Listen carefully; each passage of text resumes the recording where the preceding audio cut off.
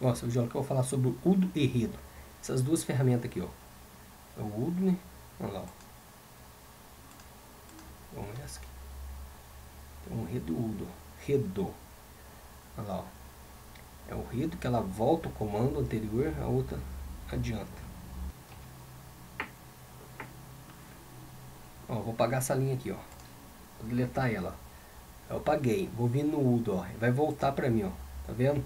O redo, ele vai voltar ao estágio que estava antes, que eu tinha apagado, ó. Um volta, o outro adianta, ó. Tá vendo? Olha lá, ó. Vou dar S, vou pagar essa linha. Deletar.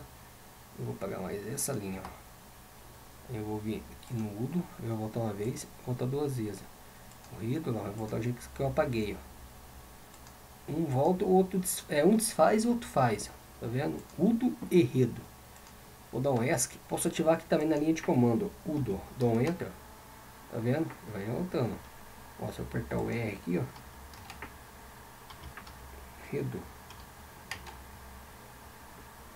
Eu vim aqui ver a linha de comando, ó. Redo. Um Enter. Ó, vou usar Udo. Vou usar o Redo. vou vir aqui né, no Udo. Uma vez, então vou pagar a linha, vamos ver aqui.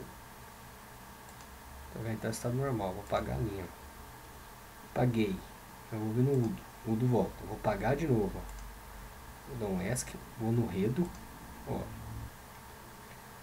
Fui no, vou digitar o U aqui, ó. Olha lá, voltou, tá vendo? eu vou no redo, ó. Então, vou voltar no udo, eu vou pegar, vou digitar redo. Tá vendo? Pela linha de comando. Vou digitar u, volta. Na linha de comando, digitar redo, adianta, tá vendo? Então, digito udo, volta. É a mesma coisa que eu ativar aqui, ó. A linha de comando udo e redo, ok? Assim a gente finaliza essa aula aqui sobre o UDO e RIDO. Voltar a desfazer. A mesma coisa da Ctrl Z também.